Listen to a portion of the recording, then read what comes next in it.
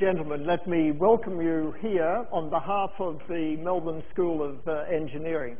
I'm Robin Batterham. I'm the Kernot Professor of Engineering uh, here at Melbourne, uh, and I'm delighted that so many of you uh, registered and turned up.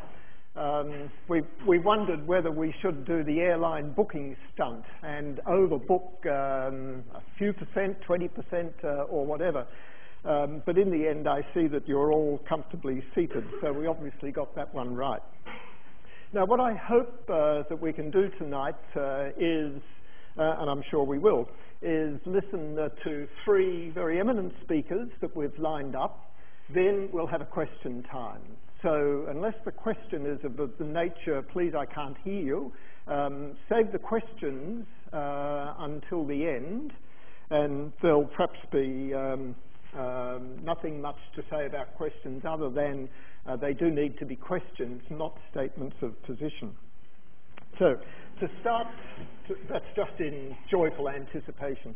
Um, to start with, uh, it's my great pleasure to welcome the Dean uh, of Engineering here, uh, Professor uh, Iven and he's going to kick off with the uh, first talk. He is actually uh, quite qualified to uh, talk to us on the uh, subject uh, because he's perhaps one of the rare beasts amongst us who's actually uh, studied and practiced nuclear power engineering. he's very decorated in terms of science and technology with publications, with books, with fellowships of academies. He's on been advisor to, dare I say, numerous boards um, for those of you that like to go into detail, I'm not going to stand and read uh, what is an quite an extraordinary CV. That's what Google is for. You go off and do the work yourself. so let's welcome, please, uh, Professor Iven Mareels.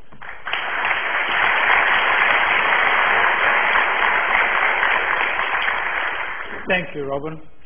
And thank you all for being here tonight. It's a pleasure to, to talk a little bit about Fukushima and facts and fallout.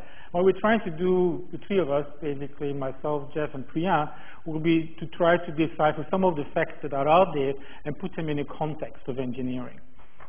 So, you've already heard about Robin. That's me. And so I'm going to first talk a little bit about Japan, the reason of all the earthquakes, and why it has chosen so much of nuclear power, a little bit about reactor basics. So what is a boiling water reactor and how does it actually work? And then a little bit of an overview of the timeline of the accident and what actually entails for us. So Japan is an, is an ice island, as we know. It uh, is placed on a very unfortunate position in the world, if you like. It, it lives on three different plates. Uh, this is the North American plate, uh, this is the South, the European, uh, European plate. This is the Filipino plate, and this is the Pacific plate. And all these tectonic plates are actually merging together. They are on a convergent trajectory. And as a consequence, we have an awful lot of earthquakes in Japan. Japan has chosen for a lot of nuclear power. As you can see, all these little red balloons are the places where you will find the nuclear power stations in Japan, all around the coast, all close to water where you would expect them to find them, but also all very close to tsunamis and earthquakes. Um, Japan has 120 million people. Remember that number will be something quite important. The area is only 50% larger than Victoria, and yet its coastline is about 20% larger than that of Australia. So it has an awful lot of places to put things at the coastline and not so much inland. And then uh, we know that on March the 11th, basically, we had this, this big earthquake, a nine point on the Richter scale, just off the coast of Japan, about 150 kilometers away from Fukushima. And 50 minutes later, a tsunami basically hit that particular facility, and the tsunami is estimated at being a height of 14 meters, which is very large by any consideration the facility was only built for 6 meters, not for 14. The electrical power capacity of uh, Japan is around 240 gigawatt installed power, uh, 120 million people, six times more than Australia. That's roughly the same number as what we would have in Australia per capita. So it's roughly the same type of development of their economy as ours, basically. Thermally, classic thermal means coal, oil, gas, 179 gigawatts. So the majority of all the gas, basically of all the power is generated the classical way with lots of carbon dioxide associated with it.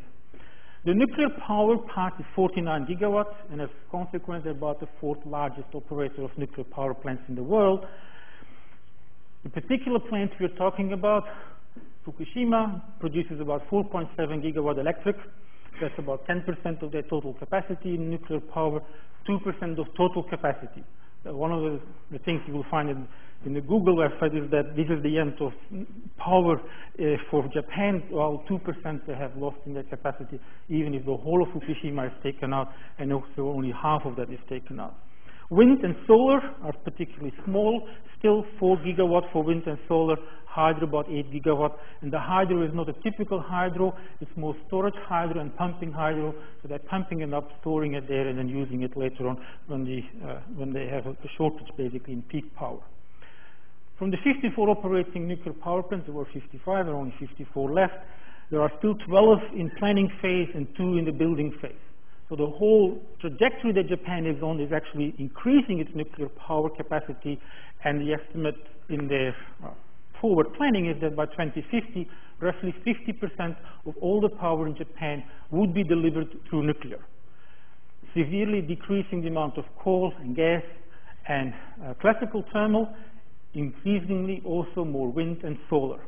But in the end, they're still predicting that even if they do everything as fast as they possibly can, they will need about 50% nuclear to meet demand. A 9.0 earthquake, when you compare it with an 8.0 earthquake, and I use it as a reference because that's what the plant was designed for. Well, what is a 9? Well, it's a logarithmic scale, meaning that at 9.0, we have about 10 times more amplitude in motion than at an 8. In energy terms, you're looking at 30 times more. So it's a significantly larger event than what you normally would think at an 8 could happen.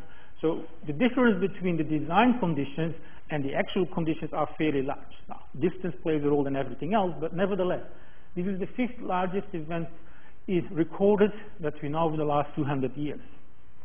The consequences of, the, of that fact are significant and horrific. More than 10,000 people are declared dead. There are another 10,000 missing, with more than half a million people basically without homes. And a conservative estimate recently came out, suggested Japan will need about $300 billion to repair whatever has been damaged.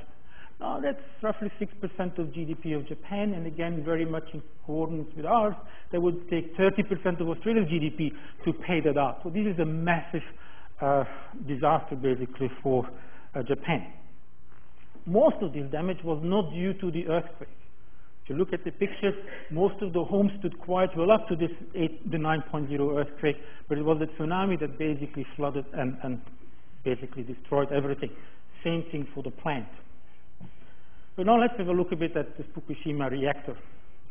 It's a boiling water reactor. It's one of the first generation reactors designed by General Electric.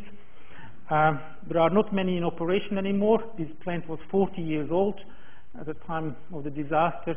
It would have probably had a lifespan left of about 10 years for normal design life, and they may have pushed it a little bit for asking an extension. That won't happen, of course, but um, 40 years is very much close to the design lifetime. Uh, Fukushima 1 here, picture for that, it's, it's a, a plant with about 440 megawatt electrical output. That means that the thermal output of this plant is 1.5 gigawatts. It's roughly three times larger because the efficiency, thermal efficiency at the, the temperatures that these things operate is roughly around 30%.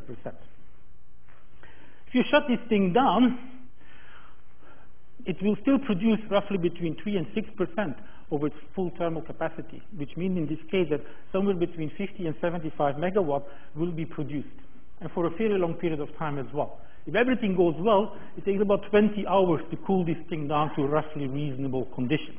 And that's under perfect conditions. It's a very simple plant.